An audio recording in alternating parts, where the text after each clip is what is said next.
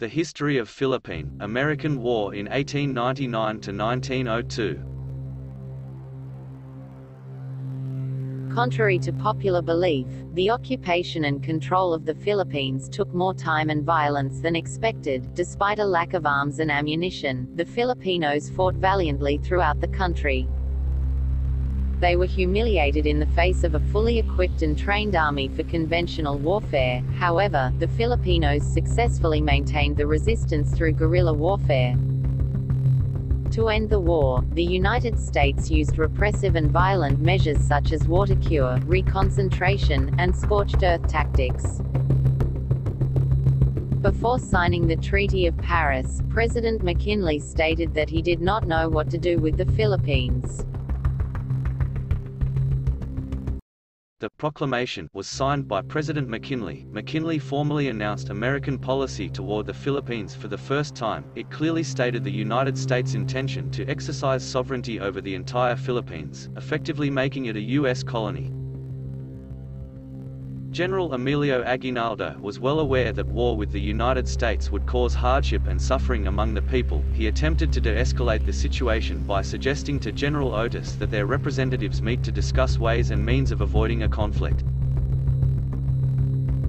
General Otis appointed his representatives which were composed of three military officers. Aguinaldo also appointed his three representatives. The six representatives met for almost one month in January, but nothing came out of the meetings because the American representatives were stalling, which heightened the tension between the two panels. On February 1, 1899 a group of American engineers was arrested by Filipino troops. On February 2, General MacArthur protested the presence of the some Filipino soldiers within in the American lines, the Filipino withdrew and MacArthur was satisfied.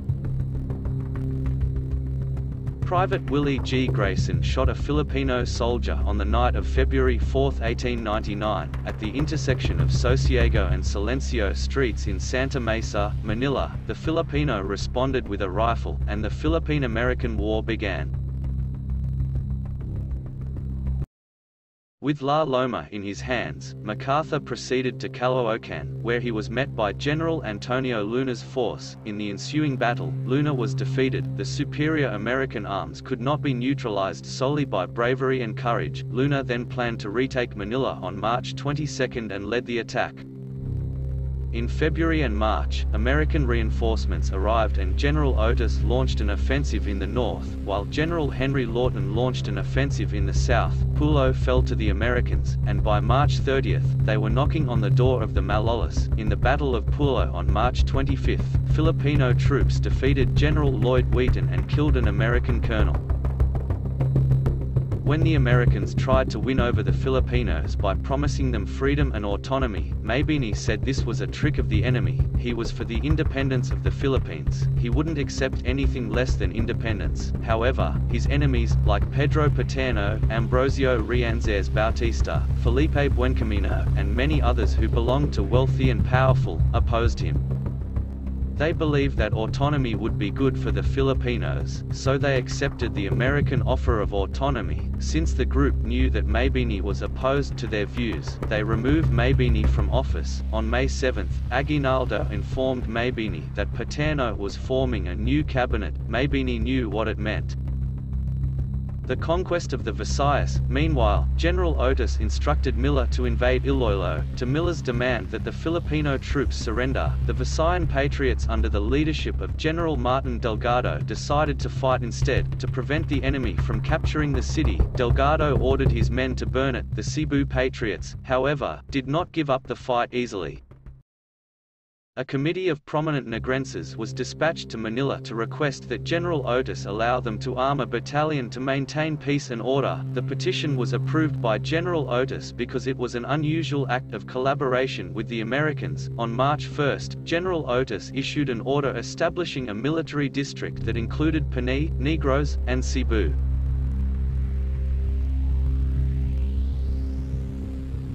On August 20, 1899 an agreement was signed by General Bates, representing the United States and the Sultan of Jolo and Dardas, representing the Sulu Sultanate. People rallied behind Aguinaldo, donating money, food, and other resources to the Revolutionary Army. Later, he abandoned his family in order to spare them the pains of travel. Aguinaldo walked to Tierra Virgin, Cagayan, with a small group of devoted followers. He and his soldiers arrived in Palanan, Isabela, on September 6, 1990, where he established their headquarters.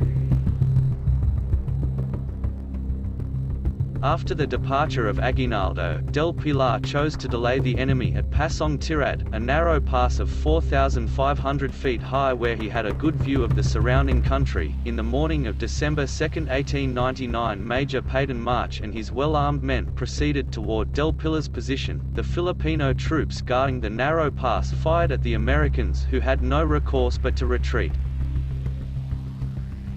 Aguinaldo was brought to Manila on April 1, 1901. He took the oath of allegiance to the government of the United States. In a proclamation of April 19, he appealed to the Filipino people to accept the sovereignty of the United States. General Emilio Aguinaldo boarding the USS Vicksburg as a prisoner of war. On February 27, 1902, they capture General Vicente Lucban in Samar. This is the end guerrilla war face in that province. Two months later, on April 16, 1902 General Malvar surrendered in order to save his people from the brutality of the enemy and from hunger. Despite the official declaration of the end of war by President Theodore Roosevelt was on July 4, 1902.